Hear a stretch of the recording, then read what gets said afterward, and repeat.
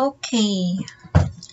On this video, pag-aaralan natin ay tungkol sa integers at operations ng integers.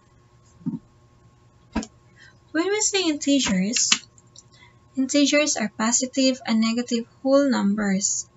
Again, integers are positive and negative whole numbers. So, for example, yung mga nakikita niyo sa right side, yung naka-R na black, 1, 2, 3, 4, 5, and so on, those are positive whole numbers. Then sa left, yung naka-red na arrow, negative 1, negative 2, negative 3, negative 4, and so on, those are negative whole numbers. Again, yung integers, those are whole numbers, either positive or negative.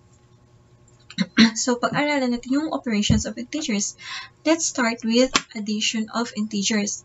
So, these are the rules of addition of integers or yung mga alituntunin sa pag-a-add ng mga integers. If we are adding numbers with the same sign or kung ang sign ng dalawang number na ina-add natin is parehong positive, all we have to do is to add the numbers and then kopyahin yung common sign. So let's say we have positive plus positive. So let's add the given number and then kopyahin natin yung common sign nila which is positive. If the given numbers naman ay may sign na negative plus negative, so all we have to do is to add those numbers and then kopyahin natin yung common sign nila which is negative. If the give the sign of the given numbers are unlike signs. So let's say we have positive plus negative. So una natin gagawin is titingnan kung alin sa dalawang given na yun yung mas mataas na number. And then subtract the given numbers. So all we have to do is to subtract the numbers and then copy the sign of the bigger number. So let's see dito, mas mataas yung may positive na sign. So kokopyahin natin or gagayahin, gagayahin natin yung sign ng positive number. If ever yung may negative sign, yung mas mataas na number, so the sign of our sum will be negative. Okay? So, for example, we have here 20 plus 10. So, if you see, no, pareho silang positive numbers. By the way, pag wala kayo nakikitang numbers beside, or pag wala kayo nakikitang sign beside the number on the left side, meaning non positive siya. Let's understand na positive siya. So, 20 plus 10, that is 30. And then, the sign is positive. We don't need to write any more positive because it's understandable na positive siya. Another example is negative 40 plus negative 60. So again, according to the rule, to add numbers with the same sign, all we have to do is to add the number, add the given number, and copy the common sign. So for this example, let's add negative 40 to negative 60, that is 100, and then copy the common sign, which is negative. Yun. So negative 100. Alright, so let's proceed now to subtraction of integers. Okay.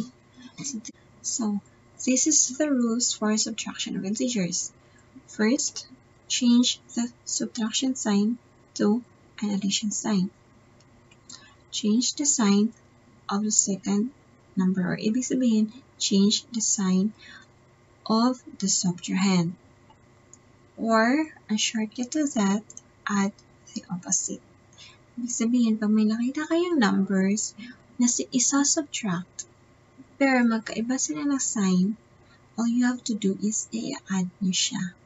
Okay? So, let's say, we have here negative 3 minus 4. As you can see, magkaiba sila ng sign. So, according dun sa rule, i-change natin yung minus to addition sign. And then, i-change natin yung um, sign na subtrahen na positive and to negative. And then, proceed the rule of addition, which is add. So, negative 3 plus negative 4, that is 7. And copy the common sign, which is negative. Another example, we have 15 minus negative 9. So, magkaiba sila ng, um, magkaiba sila ng sign. Then, all we have to do is change, uh, add because 15 minus negative 9 change the sign of the subtrahend negative to positive. So, nagiging positive na siya at nagiging pareho na sila ng sign. So, i-add na natin yung 15 to 9 and then copy their common sign which is positive. Kaya yung answer natin is positive 24. So, let's go now to um, multiplication of integers. The rules for multiplication of integers are Rule 1. When multiplying integers with the same sign, the product is positive. Rule 2. When multiplying when multiplying integers with different signs, the product is negative. So in other words, kapag nakakita tayo ng dalawang number or ng mga numbers na ita times with the same sign, regardless kung puro positive or puro negative, yung sign na magiging product natin is positive. So like positive times positive is equal to positive. If it is negative sign naman sila or unlike sign sila, so positive times negative, the sign of our product will be negative. Negative times positive, the unlike sign pa rin sila, yung sign ng ating product will be negative. And negative times negative, dahil pareho sila ng sign, ibig sabihin, yung product natin will be positive. For example, we have negative 2 times negative 3.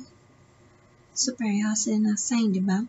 According to the rule, kapag nagmumultiply ka ng number na pareho ng sign, ang sign na magiging product mo will be positive. So, 2 times 3, 6. Then, ibig sabihin, positive 6 yung ating answer. Another example, we have negative 22 times 2. So, unlike sign sila, according to the rule, kapag nagmo-multiply tayo ng number na unlike sign, yung sign na magiging product natin will be negative. So, 22 times 2 is equal to 44. And since negative times positive is negative.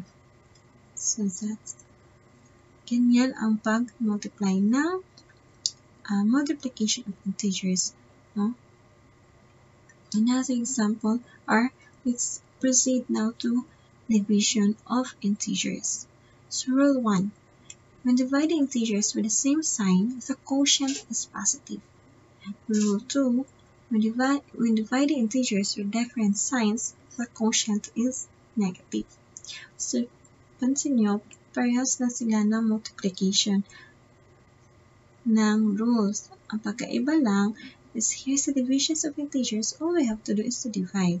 So, pag nakita natin negative divided by negative, so the sign of our quotient will be positive. Positive divided by positive, ang sign ng ating sagot is positive. Positive divided by negative, ang sign ng ating sagot is negative. Negative divided by positive, our answer will be negative. For example, we have 12 divided by negative 4. So, magkaiba sila ng sign kasi positive sign ng 12. Okay, so 12 divided by negative 4 is 3 and the sign is negative kasi positive divided by negative is negative. So for our second example, we have negative 12 divided by negative 4. So, napansin nyo, magka, magka-same sila or magkapareho sila ng sign. So, according to the rule, kapag nag-divide tayo ng numbers na magkapareho ng sign, our quotient will be positive. So, negative 12 divided by negative 4, our quotient will be positive 3. And the last one is negative 30 divided by 3. So, magkaiba sila ng sign or unlike sign. So, according to the rule, kapag magkaiba ng sign, ang sagot or ang sign ng ating sagot is negative. So, negative 30 divided by 3 is equal to negative 10.